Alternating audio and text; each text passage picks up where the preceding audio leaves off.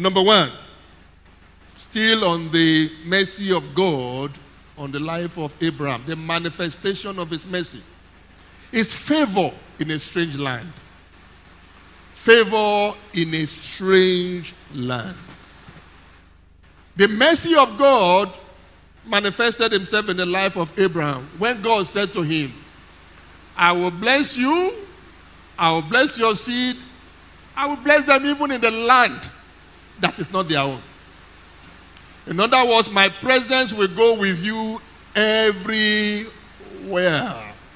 Genesis 17, verse 8. This is God speaking now.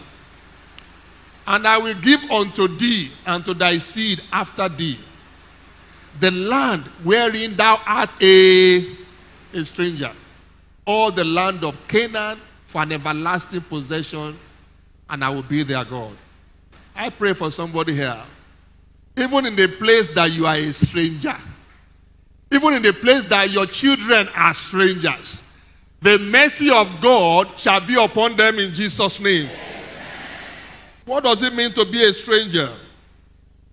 It might physically mean you are in a land that is not your own, but it could also mean that you are in a minority in the situation you find yourself. You are in a minority, you are outnumbered. The people who mean well for you are fewer than the people who do not mean well for you. You are in a strange land. It may mean you are in a situation where you are not popular, you are not liked. You are in a strange land.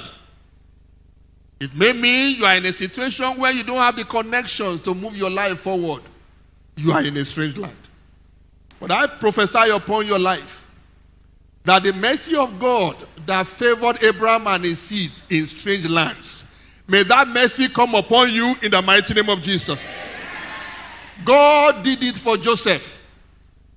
Joseph continued to find himself in strange lands. He began by being in the pit. The brothers of Joseph in Genesis 37, they threw Joseph into the pit. But the Bible said God was with Joseph in the pit. When he came out of that strange land, they sold him into Egypt, believing that once he's out of the land of his nativity, his destiny can no longer be fulfilled. But the Bible said God followed him into Egypt, into the house of Potiphar. When he found himself again in prison, the Bible says God followed him into prison. I prophesy upon the life of someone here.